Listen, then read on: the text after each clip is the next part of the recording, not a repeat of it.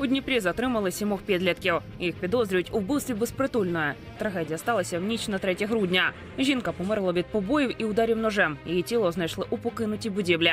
Поліція встановила, що у побитті брали участь хлопці віком від 14 до 19 років. В усіх провели обшуки. Зловмисники знімали усе на відео. Запис потрапив до правоохоронців. Деякі затримані зізналися у причетності до вбивства. Во время преступления вся компания в хаотичном порядке э, наносила кто там удары ногами, кто руками, кто кастетом, кто ножами. Вот, в хаотичном порядке каждый подходил там в свободное место и это совершал. На розкриття злочину задіяли майже весь особовий склад поліції міста Дніпро від кримінального блоку до спецпризначенців. Ще двох фігурантів затримали на території Донеччини за участі місцевих силовиків.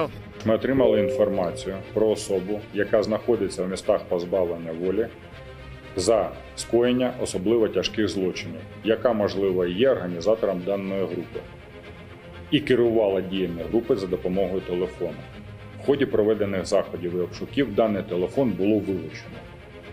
Всім фігурантам пред'явлено відповідні підозри. Судом обрано запобіжний захід у вигляді тримання під вартою. Усім затриманим загрожує до 15 років позбавлення волі чи довічне ув'язнення. Слідство триває. Правоохоронці мають також інформацію про спробу вбивства цими ж молодиками чоловіка у недобудові. Інцидент також стався тієї ночі, 3 грудня.